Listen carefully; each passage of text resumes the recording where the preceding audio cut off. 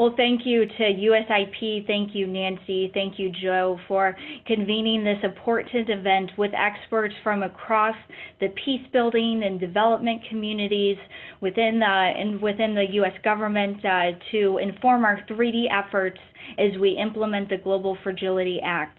It's always good to be with our partners from state and USAID, and we greatly appreciate the insightful remarks from Deputy Secretary Biegun and Acting Administrator Barsa. I also know there are many participants on the line from DoD, from OSD Policy, and the Joint Staff who are very much looking forward to contributing to the conversation today.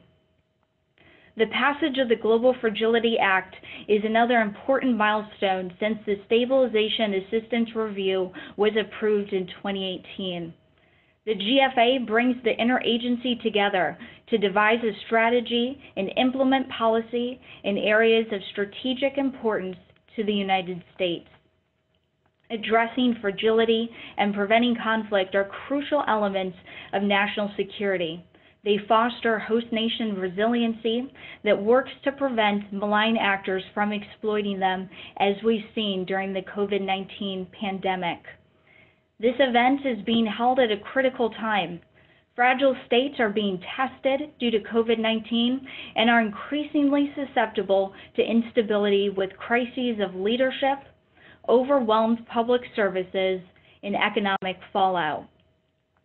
For the COVID response, DoD is working with the interagency to provide allies and partners with life-saving humanitarian supplies and, most importantly, with capacity building assistance such as COVID-19 treatment centers, lab support, and testing and diagnostic centers. Thus far, DoD has authorized nearly $40 million in assistance. Many of our allies and partners are struggling with this pandemic. And if there is an absence of strong global leadership, they will turn to our competitors for the assistance they so desperately need. The COVID 19 reality has made two things clear. First, in responding, the U.S. government must be unified.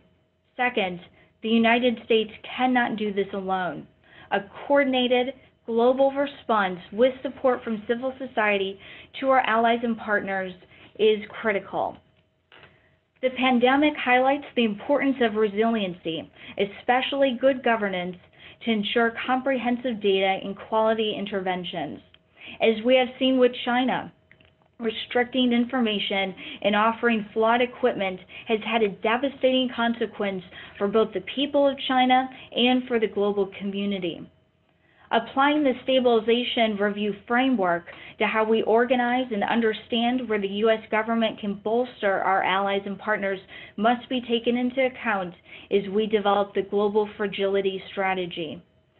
One of DoD's tools to support the global fragility strategy is our new interagency support authority Section 1210 Alpha Defense Support to Stabilization, which allows the Department to provide logistic support, supplies, and services to other federal agencies conducting stabilization.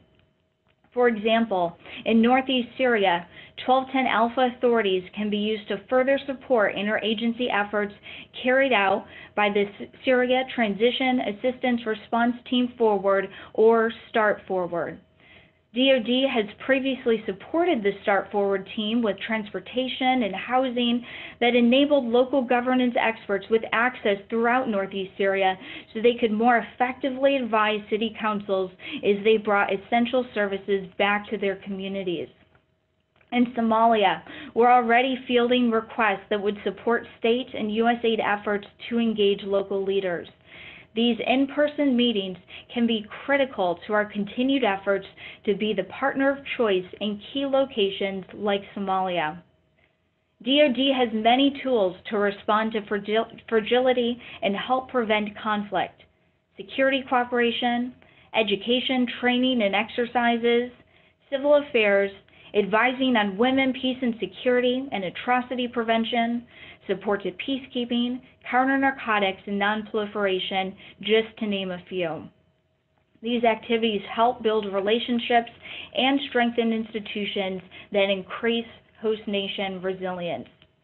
Another important tool is the collaboration brought by State Department, USAID, and other interagency partners assigned to our combatant commands where a lot of fragility and prevention planning occurs. And our COCOMs will then work in concert with embassy country teams on implementation. In closing, we here at DoD look forward to hearing from the vast array of experts who are participating in this forum as we work together to support fragile states. Thank you so much.